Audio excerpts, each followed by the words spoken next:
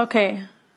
Bot Gaskar wants to know if GPT-4o is capable of real-time translation. Mark, you want to try this one? Sure. with Yeah, let's do it. All right. Yeah, I, I um, speak is Italian, so we Oh, can okay, just cool. do English let's, let's try to do English Italian. Sure, let's do it. Hey, ChatGPT, how are you?